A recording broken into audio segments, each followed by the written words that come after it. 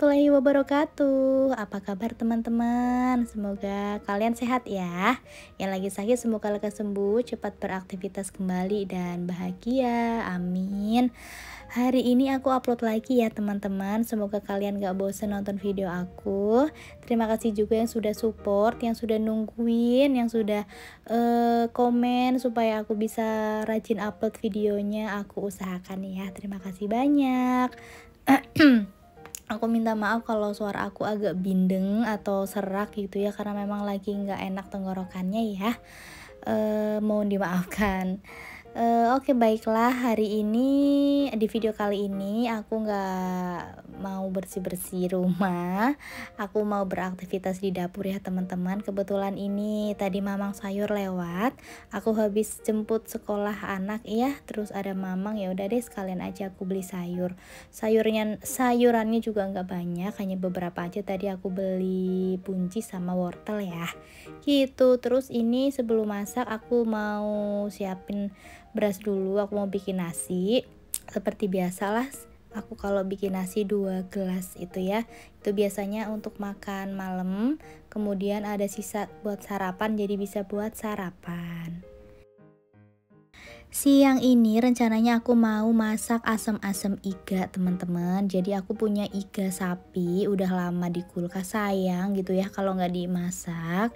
Jadi ini aku mau segera aja deh e, karena tinggal sekali masak gitulah satu porsi masak jadi aku mau masak aja. Sebetulnya bukan iga yang daging iga banget sih Maksudnya bukan daging iga semua ya karena itu udah campuran. Uh, ada kayak tetelan kayak gitu gitulah tapi dagingnya tuh masih tebel banget yang nempel di uh, tulang gitu. Kan aku lebih suka yang uh, nempel di tulang kayak gitu loh daripada yang daging daging daging gitu ya. Lebih kayaknya lebih seninya makan daging tuh ya harus ada tulangnya gitu nggak sih? Apa aku aja ya. Nah ini aku udah siapin pancinya buat merebus. Kemudian aku cemplungin aja ya langsung uh, dagingnya juga. Kenapa aku pilih asam-asam? Karena aku lagi punya stok banyak uh, asam belimbing teman-teman atau belimbing wulu karena di Cilengsi itu kan susah banget ya cari belimbing wulu dan kebetulan kemarin itu aku dikasih banyak banget sama OB-nya uh, tempat kerjanya suami gitu karena waktu itu suami kan pernah minta nggak ada gitu kemudian pas waktu ada mungkin lagi panen atau lagi berbuah banyak terus jadi inget sama suami jadi dikasihkan gitu. Ya lumayan banget lah ya. Jadi aku simpen di freezer kayak gitu. Jadi ya udahlah kebetulan masih ada sisaan daging jadi aku mau masak asem-asem aja kebetulan juga pengen yang seger-seger ya teman-teman. Jadi yaudah deh aku masak asam-asam gitu. Nah ini untuk bumbunya udah aku siapin. Itu ada serai ada laos ada jahe ada daun salam juga. Itu udah aku geprek ya teman-teman. Dan udah aku cuci semuanya. Nah itu dia si gongnya primadonanya yaitu asam belimbing atau si belimbing wuluh udah deh gitu aja untuk perbumbuannya tuh nggak ada yang diulek nggak ada yang dicoper nggak ada yang di blender atau apa pun semuanya diiris ya. Tips dari aku teman-teman biar masakan kita enak biar masakan kita sedap gitu ya. Itu kita jangan pelit sama bumbu. Misalnya kayak gini nih bawang. Mungkin yang biasanya kita bu hanya butuh gitu 3 atau 4 siung bawang itu kita naikin kita tambahin. Yang penting nggak berlebihan. Misalnya kita naikin jadi 6 siung bawang merah nanti bawang putihnya jadi 5 kayak gitu loh itu wah itu pasti jadi enak banget kuahnya. Itu udah no debat deh. Itu sih saran dari aku. Nah ini uh, dagingnya udah mulai uh, panas uh, panas udah mulai matang ya udah direbus. Nah rebusan yang pertama aku buang dulu teman-teman karena kan itu ada kayak lemak jahat kayak gitu ya udah item-item gitulah makanya aku buang dulu. Nah di rebusan kedua ini baru aku cemplungin si perbumbuannya ini tadi. Ada serai ada salam kemudian jahe, laos, bawang, dan ini cabenya juga aku cemplungin semuanya di sini. Kenapa rebusan air pertama aku buang? Karena yaitu tadi teman-teman nggak tahu ya aku nggak nggak nggak serk aja kalau rebusan pertama tuh nggak dibuang karena masih item-item gitu loh gitu dan tenang aja di rebusan kedua juga kaldunya masih dapat kok kayak gitu nah ini untuk di panci kecil aku siapin untuk rajendra aku bikin kayak sop aja ya untuk Rajendra karena dia juga uh, kayak asem gitu kecut-kecut gitu asem gitu. Dia belum mau belum suka jadi aku bikin sop aja lah. Untuk sayurnya juga itu wortel aja karena uh, buncisnya dia nggak begitu suka buncis. Terus aku ternyata nggak punya stok brokoli di kulkas jadi ya udah deh nggak apa-apa. Untuk wortelnya yang bulat-bulat tadi untuk sop ya. Nah untuk yang asem-asem aku potong dadu kecil-kecil kayak gini.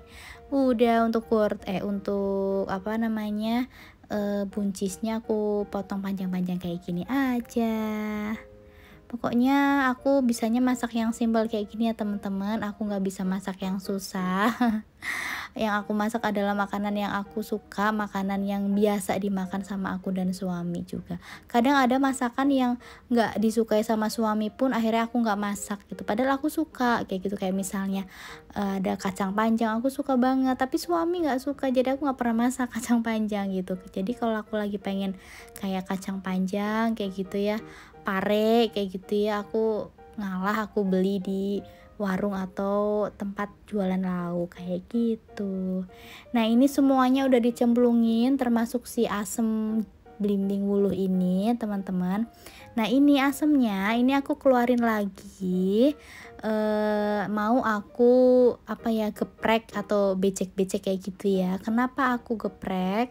Karena pengalaman kalau si asemnya aku potong kecil-kecil itu kuahnya rasanya kurang apa ya kurang nendang gitu ya kurang apa ya kurang asem kurang kurang seger kayak gitu ya teman-teman. Jadi ini aku cemplungin dulu sampai dia layu. Baru kalau udah kiranya layu aku angkat lagi dan aku uh, geprek-geprekin kayak gitu. Udah. Terus ini seasoning aku kasih garam aku kasih uh, kaldu juga. Bisa pakai kaldu jamur bisa pakai kaldu ayam. Terus ini micinnya ya buat biar rasanya lebih mantul begitu.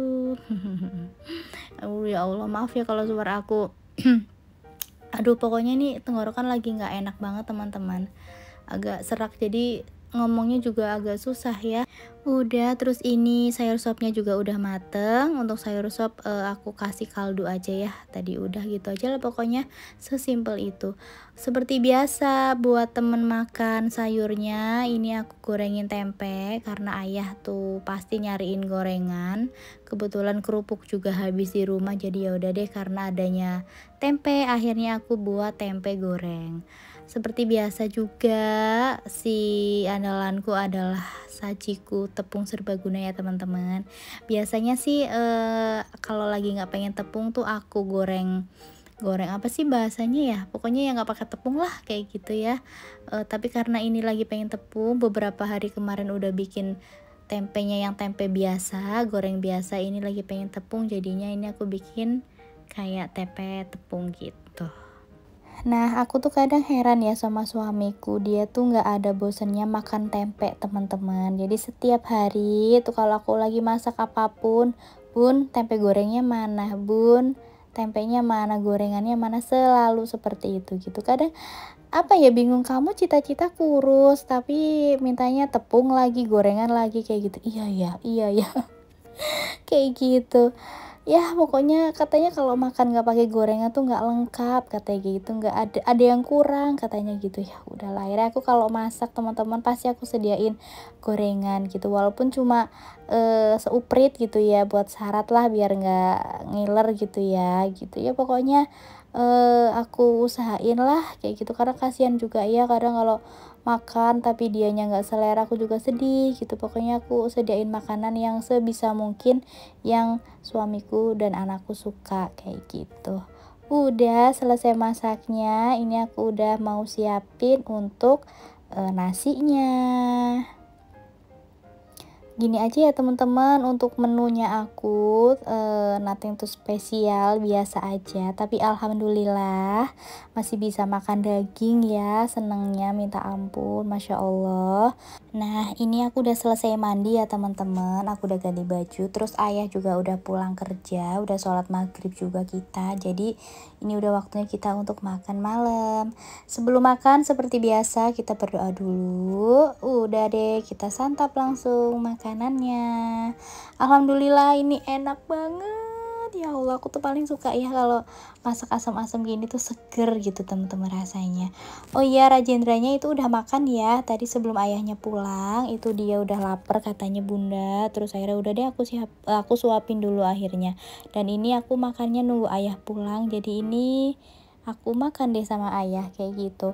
Pokoknya momen di meja makan adalah momen yang aku tunggu ya teman-teman gitu.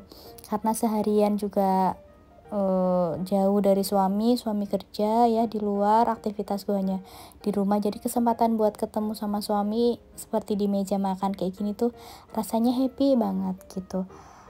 Sebisa mungkin aku juga tanya ayah gimana pekerjaan hari ini? Gimana e, lancar? Ada yang sulit nggak? Ada masalah nggak? Ada kendala nggak? Kayak gitu yang namanya pekerjaan ya pasti ada ya teman-teman. Ya bun aku tadi gini gini gini capek gini gini. Ya udah aku sebagai istri kita support aja ya gitu. Yang namanya pekerjaan pasti capek yang namanya kerja pasti ada target, ada ya pokoknya segala sesuatu kalau diikhlasin, eh kalau dikerjakan dengan ikhlas, insya Allah terasa ringan. Selalu sih aku kasih support suami kayak gitu. Dan ngajarin Rajendra juga ya supaya dia juga bisa berkomunikasi, bisa menjalin, e, memperkuat hubungan antara ayah dan bundanya kayak gitu ya pokoknya e, manfaatkan waktu bersama lah teman-teman walaupun hanya sebatas makan malam bersama. Udah Nah ini udah selesai makannya. Ini aku lanjut cuci piring ya. Tadi lihat ya cuci cucian itu numpuk gitu. Biasa kalau habis masak ya. Kemudian orangnya juga cuma tiga Tapi cuciannya sebanyak itu. Setelah nyuci piring Jangan su jangan Ya Allah kok aku ngomongnya belibet gini ya. Jangan lupa dibersihkan sinknya biar nggak uh, kotor Selesai cuci piring, ini aku lanjut lagi bersihin dapur ya teman-teman supaya nanti uh, kalau mau masak lagi kondisi dapurnya bersih. Jadi kita tambah semangat lagi deh masaknya. Aduh pokoknya aku minta maaf ya kalau suaraku bindeng kayak gini terus ngomongku agak belepotan teman-teman. Mohon dimaafkan, maafin, maafin, maafin. Oh iya, aku jadi ingat teman-teman. Jadi di video aku sebelumnya itu ada yang tanya, "Bun, beli meja kompornya di mana?" Aku belinya itu offline, teman-teman, di OVO Furnitur di daerah Setu Bekasi. Sebetulnya itu kitchen set, tapi aku pakai untuk alas atau meja kompor kayak gitu.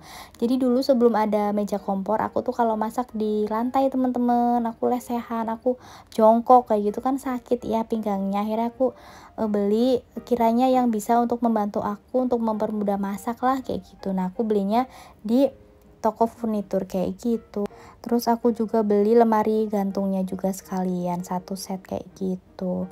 Oke lah teman-teman paling segini dulu ya. Terima kasih sudah nonton video aku dari awal sampai akhir. Maaf kalau ada salah-salah kata ya.